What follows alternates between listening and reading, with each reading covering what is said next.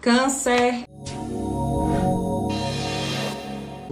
A espiritualidade, minha cigana, eu queremos falar com você.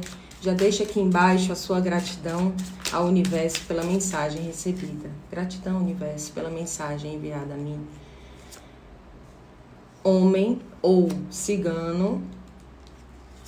Para quem quer consulta para saber sobre a sua vida, foi-se sobre a sua vida, sobre você, sobre o que está te angustiando, é só clicar depois desse vídeo aqui na foto, vai para bio, na bio tem um link, tá? Normalmente eu atendo no mesmo dia, no mais tardar no dia seguinte. Dificilmente eu não atendo no mesmo dia. O lírios e pássaros.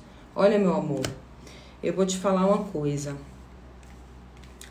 Você é uma pessoa suficientemente madura para saber entender os recados, os avisos que o universo, que a espiritualidade dá para você. Aqui tem uma pessoa que você precisa dar a Deus, que você precisa tirar da sua vida.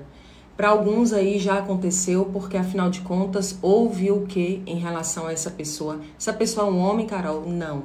Aqui hoje pode ser homem ou mulher, tá? Pode ser no amor, pode ser na amizade, pode ser um, uma pessoa do trabalho, pode ser o que for mas não é necessariamente um homem e não é necessariamente um amor.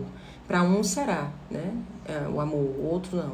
Então, é, essa pessoa é, teve alguma história, alguma coisa em torno dessa pessoa, em torno de você, alguma fofoca, alguma intriga ou alguma conversa ou tá chegaram para falar para você alguma coisa a respeito dessa pessoa que você precisa tirar essa pessoa da sua vida. Essa pessoa não vai te fazer bem, não te faz bem. Alguns aí descobriram coisas que não são coisas ruins, né? Descobriram traição, descobriram coisas ruins. Pode ter certeza que a espiritualidade está com você. Nessa aqui, em, em, desculpa, e em tudo. Ai meu Deus, quase que não sai, gente, desculpa. E em tudo, sempre, hoje, agora e sempre. Mas você precisa finalizar esse ciclo com essa pessoa. Finalizar mesmo caso seja familiar, parente tal, que não pode, né, manter uma distância segura, porque essa pessoa não te faz.